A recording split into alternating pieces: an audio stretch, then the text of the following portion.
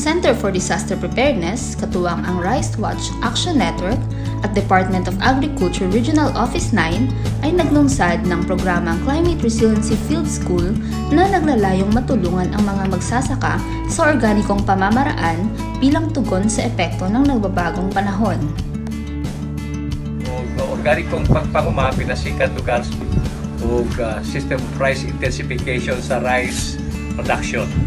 Ug ato nakita ganina mao ang pagtanom sa ato mga mga similya nga tagsa-tagsa kunya ang pagpadlis po niya na kinahanglan na ipadlis o ang ila- ilayon is 25 centi- 25 by 25 cm. Simula sa pagbibinhi, pagtatanim, hanggang sa pag-aani, tinuturuan ng mga magsasaka ng Systems of Rice Intensification o SRI, isang pamamaraan ng pagpapatibay ng palay at pagpapadami ng ani gamit lamang ang mas kakaunting binhi at mga natural na pataba. Ang konsepto ng SRI ay isang sustainabling agrikultura na nakakatulong din sa pagbabawas ng emisyon ng mga mapaminsalang kemikal. Bukod dito, marami pang kaalaman ang naibahagi ng programa para sa magsasaka.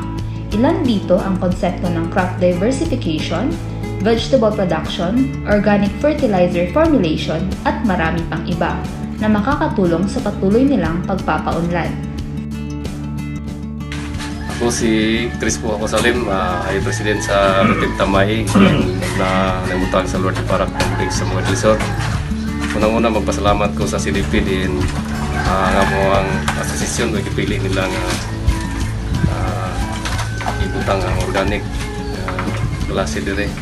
Tungod kaya kan may kayong natutunan kabayan sa organiko nga pagpanguma. Kini ang organikong pagpanguma dako kini katabang sa mga mag-uma tungod kay unang-una ang among masakan ni nainay nga mauli sa normal nga pa pag pagkuan sa kumay pagtubo. Bali, as a agriculture student, murag dako ni siya nga opportunity sa kuan experience kay kana ang third year na ko puhon and nanami thesis bali pwede na ko siya himuon nga reference na ko sa ko ang thesis.